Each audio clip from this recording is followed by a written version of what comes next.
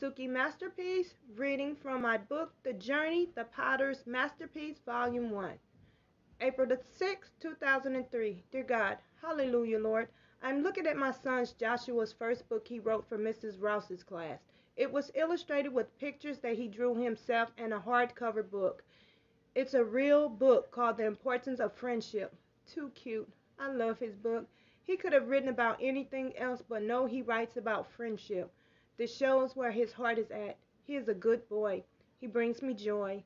All of them brings me joy. My children have a lot of love for people and trust for them. Their hearts are big and open wide. Lord Jesus, this can be a bad thing since people tend to prey on those they think are weak. Please keep them all the days of their lives. Please send angels to watch over them and form a hedge of protection around them. Keep them from accidents of every kind. Keep them from evil people. Teach them how to make good choices and to resist bad people. Send them godly friends. In Jesus' name, amen. Thank you. Yes,